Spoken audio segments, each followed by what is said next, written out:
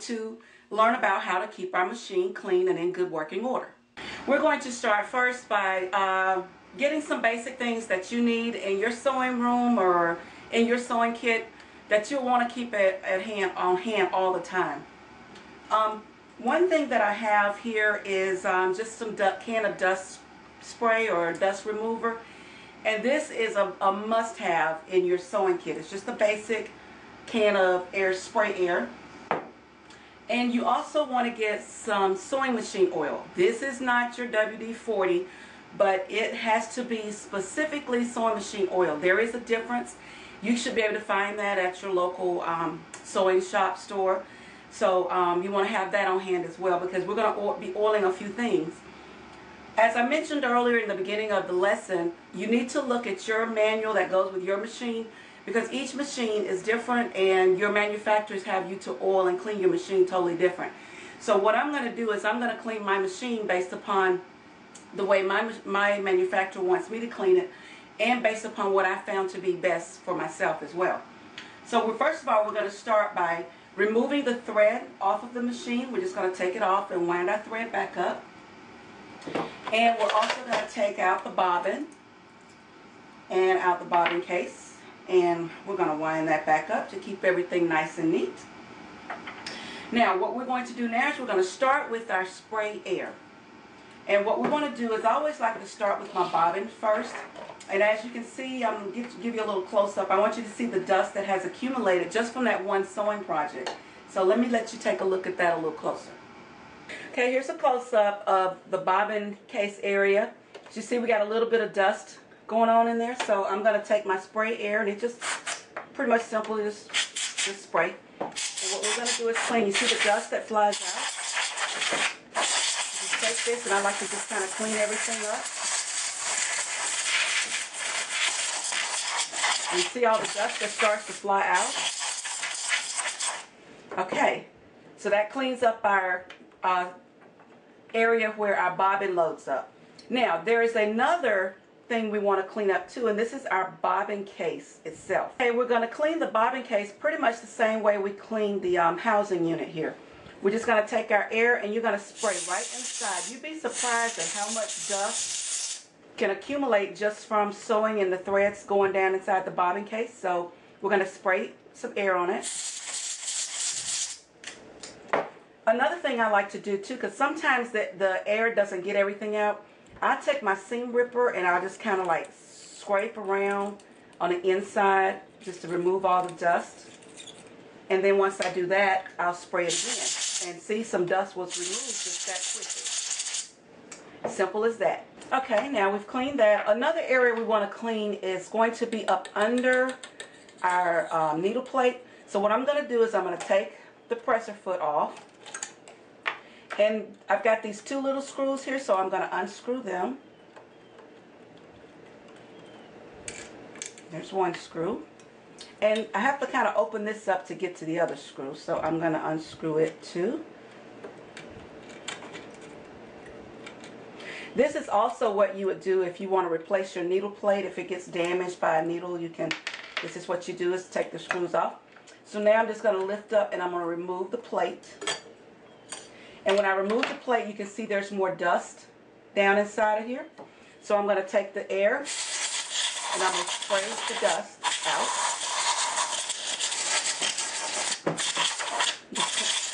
Just clean it all up. And this is a closer look at our feed dogs too. Okay, now that we've got these parts off, we're going to put a little bit of machine oil um, into our machine. In the back back here, which I'm not going to give too much detail because this is something that your um, the person that cleans your machine or maintenance your machine would work on that. So you don't want to really put any oil in there. But we're going to take the housing off. I'm going to unscrew that and undo that. And we're going to remove this so we can, I can show you how we oil that. Okay, now that we've cleaned that, we're going to clean the housing. Uh, we've already cleaned the housing, rather. We're going to oil the housing. So we're going to slide these little things, the little clamps that hold the housing in place. And we're going to take it off. And sometimes you get like dust on top of this. You just wipe it off. Or if you prefer, you can use your spray air to clean it off. Then we're going to take out the other part of the housing as well and you just want to kind of spray it off and make sure it's clean. Now, inside the housing, I don't know if you'll be able to see this. I'm going to try to position the camera so you can take notice of it. But I'm going to tilt the machine inside the back. When you turn the handle, you'll see that the housing uh, unit turns and there's a little movement back there in the back. That's where we want to get a little bit of machine oil back there because that part can get really, really, not crusty, but a little stiff. So you want to keep oil back there just a little bit. It only takes a few drops. So let's see how we do that. But I'm just going to squeeze a couple of drops of oil back behind there. Okay, and that's pretty much all you want to do there. So now that I've oiled um, the housing unit, I'm going to turn my hand wheels so that I can go in here and I'm just going to wipe away, as you can see, some of the dirt that comes off. I'm kind of wiping the excess oil because you don't want this to end up in your fabric and on your thread. So I'm just wiping the excess. Okay, and now that we've got the excess wiped, I'm going to put my parts back together. I'm going to go back in the opposite way that we took them out. So this rides up in there on the right hand side. And then the cover or the outer part of the housing sits right up on top like this. And then these clamps lock on that side. And this one locks on that side. Of course, and we can put our bobbin case back inside. And we're done. Now that we're finished cleaning the top, we're going to put our throat plate or our needle plate back together so it just sits back on top. And we're going to put our screws back in. That one goes there. And then this one goes here. We're going to take our screwdriver and we're going to tighten those up.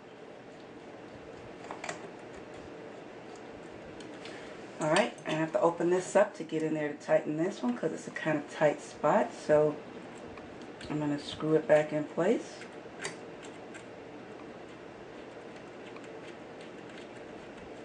There we go. You don't want to get these too tight because they'll be a pain to try to get loose if you get them too tight. So now I'm going to put my presser foot back on, tighten it up, and that takes care of that. Okay, now that we've cleaned our bobbin case and under our feed dogs, now we're going to clean the final part of our machine. And that's the unit um, here on the left, and this is where all your the gears turn and move everything up and down. So I'm going to give you a close-up of this so that you can see how to clean this area or to keep it dust and dirt free and how you can keep it oiled. Okay, as I mentioned, this is the um, final part of our cleaning. Um, some of your machines this section may not even open on a, I notice on a lot of the newer machines it doesn't open. I love uh, my brand of machine because it does give me an opportunity to open this so that I can clean it.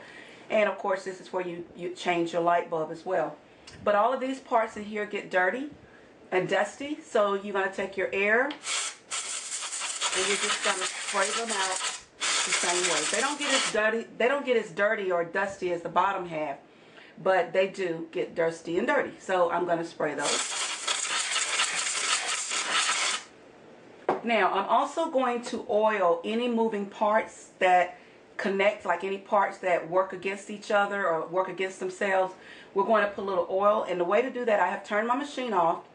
So what I'm doing is I'm, I'm raising my, my needle up and down so that I can look inside and see what parts are moving.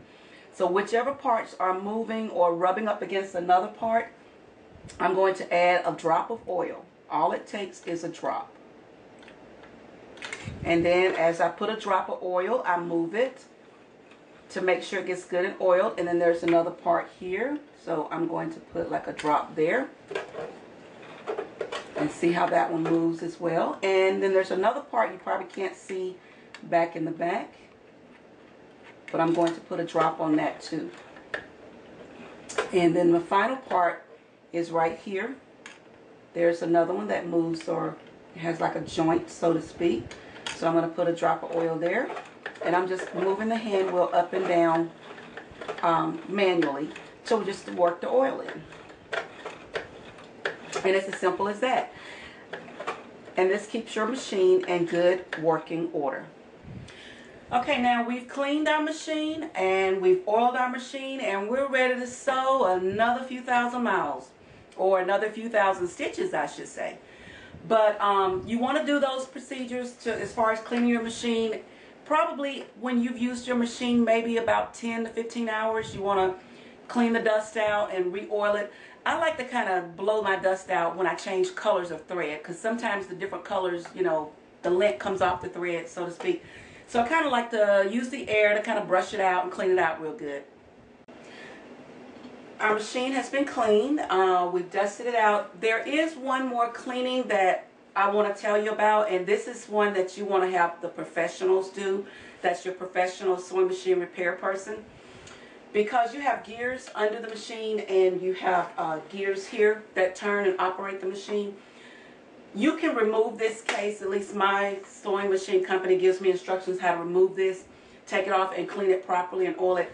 But I'm not really comfortable doing it. I kind of like to leave that to the professional. So you might want to do maybe every once every three to six months. You want to take your machine in to the repairman and I'll have him to service it. And what he would do is take the machine cover off, the top and the bottom, clean it real good, give it an oil, and then there's some parts that actually require a grease that we can't get. It's only, you know, the repairman have this. But it really keeps your machine nice and um, in good working order. So you want to make sure you do that every periodically is have um, the service person to um, clean your machine and keep it in good working condition.